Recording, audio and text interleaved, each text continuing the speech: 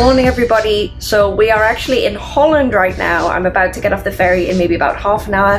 The uh, the ship is just kind of docking at the minute, so you probably won't see much of me in today's footage. But what you probably will see is a lot, a lot, a lot of nursery footage if I can help it. I'm going to record in as many places as I can because I haven't actually cleared it with any of the nursery owners as to whether I can actually record footage there. So I'm going to get as much as I can and kind of take you guys on kind of a tour around nurseries so you can kind of see where your house plants come from because I think this is really really cool. I've seen this kind of thing before and I'm very very excited to see it in person. So without further ado, let's speed up to getting off the ferry and going to the nurseries.